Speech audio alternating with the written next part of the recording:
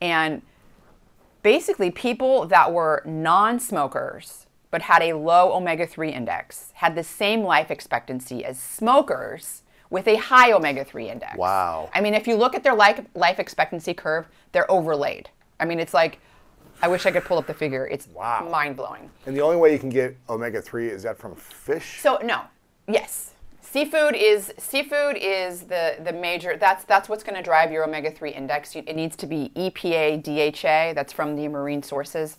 Um, ALA, the plant source of omega three, can be converted into those two other omega three fatty acids, but very very inefficiently. And so. Um, really you need to get the marine source. For people that are vegetarians or vegans, microalgae is the source of microalgae oil. You have to take a lot of it.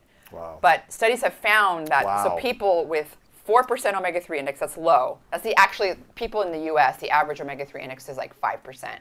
Um, if you take two grams of omega 3, so supplemental omega 3 per day for, was it like three months or so, then or three or four months, then you can go from a four percent low omega three index to a eight percent high omega three index. And people that have an eight percent omega three index have a five year increased life expectancy compared to the people with low. Come on, if really? you think about Japan, Japan they have a five year increased life expectancy compared to the U.S. on average. They a live lot of five. fi- lot of fish in their Their, diet. their omega 3 index is 10%, ours is 5%.